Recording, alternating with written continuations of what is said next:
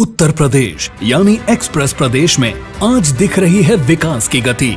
वह विकास जिससे बढ़ रही है आम जनमानस में खुशहाली, बढ़ रहा है रोज़गार, महिलाओं में आत्मविश्वास, और हो रहा है किसानों का जीवन खुशहाल।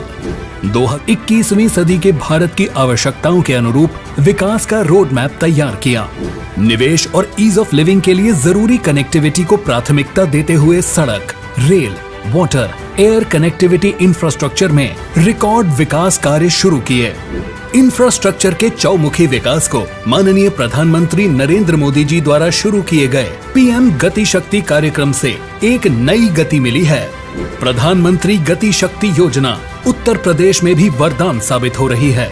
माल की ढुलाई एवं यात्रियों की सुगमता के लिए 7700 करोड़ रुपए की लागत से multi modal logistics and transport terminal आम जन का रैपिड रेल का सपना पूरा करने के लिए तीस हज़ार करोड़ की लागत से regional rapid transport system Uttar Pradesh को पूरी दुनिया के साथ एयर कनेक्टिविटी देने वाला तीस हज़ार करोड़ की लागत से नोएडा इंटरनेशनल एयरपोर्ट तथा देश की रक्षा शक्ति को बढ़ाने वाले 4000 करोड़ के निवेश से डिफेंस इंडस्ट्रियल कॉरिडोर का निर्माण मिशन मोड पर चल रहा है।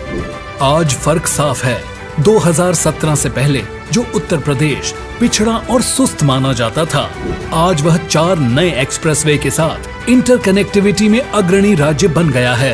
प्रधानमंत्री जी के विजन को साकार करने के लिए माननीय मुख्यमंत्री योगी आदित्यनाथ जी ने सड़क, मेट्रो, एयर, सभी क्षेत्रों में विकास को लक्ष्य बनाया। पूर्वांचल की छवि बदलने वाला पूर्वांचल एक्सप्रेसवे, बुंदेलखंड के विकास की गति बढ़ाने वाला Bundelkhand expressway, Gorakhpur link expressway और इसी कड़ी में अब जुड़ रहा है प्रदेश का सबसे लंबा एक्सप्रेसवे, गंगा एक्सप्रेसवे।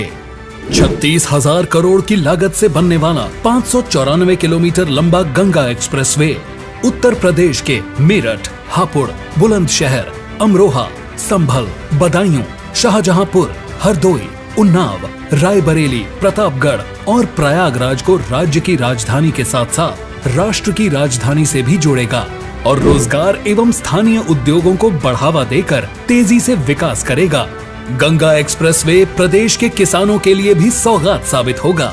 वह अपने कृषि उत्पाद और फ़सलों जैसे धान, गन्ना, दलहन, तिलहन, फल, सब्ज़ी खाद्य प्रसंस्करण एवं दुग्ध उत्पादों को पूरे उत्तर प्रदेश के साथ देश के सभी बड़े बाजारों तक पहुँचा सकेंगे और उनके जीवन में विकास के नए रास्ते खुलेंगे।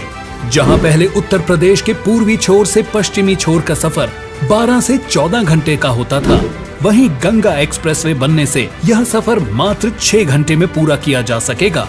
ग्रामीण क्षेत्रों में कनेक्टिविटी बढ़ने से गाँव के साथ साथ प्रदेश की अर्थव्यवस्था को भी मजबूती मिलेगी।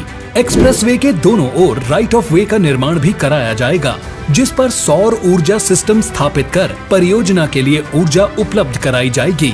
सड़क के बीचों बीच यूटिलिटी डक्ट का निर्माण भी कराया जाएगा, जिससे भविष्य में किसी भी प्रकार की यूटिलिटी स्थापित करने के लिए सड़क की खुदाई नहीं करनी पड़ेगी।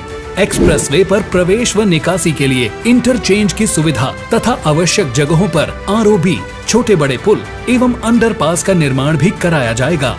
एक्सप्रेसवे के आसपास इन्वेस्टमेंट पार्क, कारखाने भी स्थापित किए जाएँगे और सघन वृक्षारोपण किया जाएगा। साथ ही जन सुविधा केंद्रों तथा स्थानीय लोगों की सुगमता के लिए स्टैगर्ड सर्विस रोड का निर्माण भी होगा। देश की रक्षा शक्ति बढ़ाते हुए इमरजेंसी लैंडिंग के लिए शाहजहांपुर में हवाई पट्टी का निर्माण भी कराया जाएगा।